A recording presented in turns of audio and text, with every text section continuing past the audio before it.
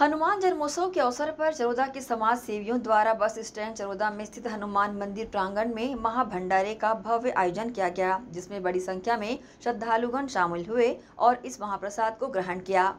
गौरतलब है कि चरोदा के वरिष्ठ समाज सेवी घनश्याम सिंह के नेतृत्व में नौ वर्षों से उनके कार्यकर्ताओं द्वारा चरोदा स्थित दक्षिण मुखी हनुमान मंदिर में हनुमान जन्मोत्सव के अवसर पर विशाल महाभंडारे का आयोजन लगातार किया जाता रहा है।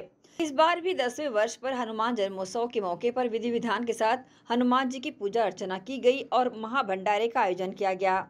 इसमें बड़ी संख्या में लोग शामिल होकर महाप्रसाद को ग्रहण करते नज़र आए।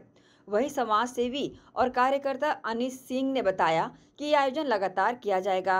इसी तरह इस साल भी विशाल महाभंडारे का आयोजन किया गया है, जो कि हमारे प्राचीन हनुमान मंदिर चरोदा में किया गया है।